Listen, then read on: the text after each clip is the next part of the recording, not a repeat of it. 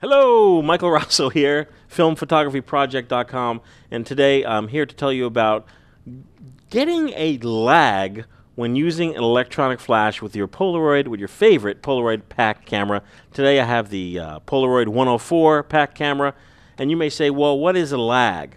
Well, a lag is when you fire the shutter it flashes, but the shutter remains open, and that creates sort of a dreamy, kind of interesting look to your photography. If you have your electronic flash on your camera and plugged into your camera ready to shoot, you take your darken lighten and you turn it to lighten almost all the way. Now, you may say, Well, Mike, or isn't my image going to be overexposed? Yes, you may overexpose by doing that, but you could put a piece of diffusion here on your flash. I'm just taking a paper cup.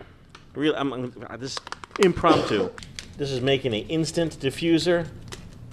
Boom. Take this. I'm gonna double it up because I'm gonna be shooting pretty close to John. See, diffuse. Put it there. It's called makeshift diffuser. Bing, bam, boom, flim, flam, flume. There it is. That's going to diffuse the amount of light coming out of the flash. Hopefully we won't overexpose. And uh, here's a flashlight for you, John. When I cue you, you're going to put the flashlight in the frame, like Oh, to create an effect. Ready, John? Yeah. Let me focus up. One, two, three. Good. Nice.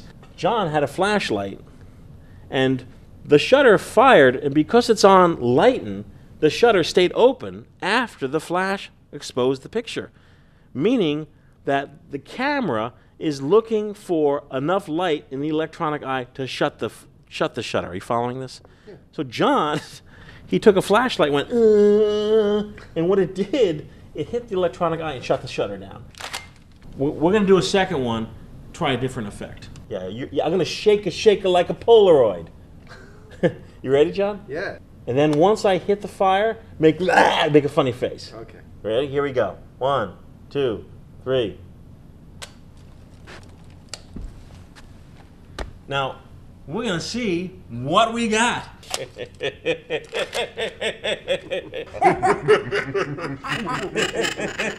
Here we go. No, this is a Oh, that's that that you know circle that that circle you see. That's John's flashlight. It's actually you're painting with the flashlight. little flashy, flashy. I'm painting with light. He's painting with light. That's by using this technique called shutter lag. This is the one where we did a shaky, shake a shake like a Polaroid.